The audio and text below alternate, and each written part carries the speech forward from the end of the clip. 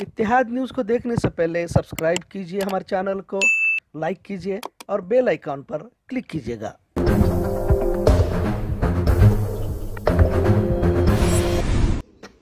जय हिंद साथियों।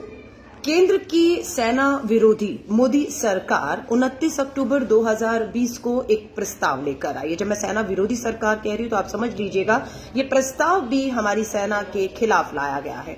इस प्रस्ताव में कहा गया है कि सेना के जवानों की जो पेंशन है, उसे आधा किया जाता है। यानी कि अगर किसी को अब तक पेंशन पचास हज़ार रुपया मिल रही थी, उसे सीधा पच्चीस हज़ार किया जा रहा है। नंबर एक। नंबर दो सेना से रिटायर होने के बाद आप किसी भी दूसरी सेवा में जा सकते थे, ऐसा प्रावधान था, लेकिन उसे भी बदल दिया गया। है आप सक्रिय सेवा में, सेना में रहने के बाद अब किसी दूसरे विकल्प को आप नहीं चुन सकते, ऐसा प्रस्ताव इसमें कहा गया है। इसमें यहाँ तक कि डिसेबिलिटी जो पेंशन मिलती थी, हमारे जवानों को, उस पर भी टैक्स लगा दिया गया है।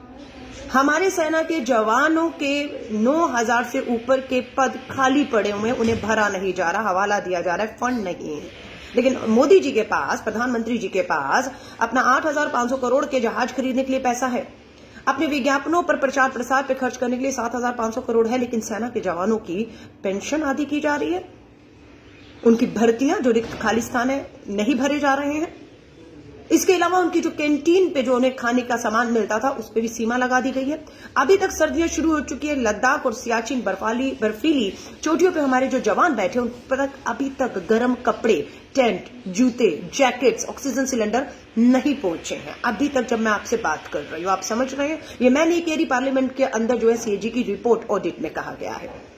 मैं आप सभी से कहूँगी, ये हमारी सेना के जवानों के साथ बहुत बड़ी जाति है।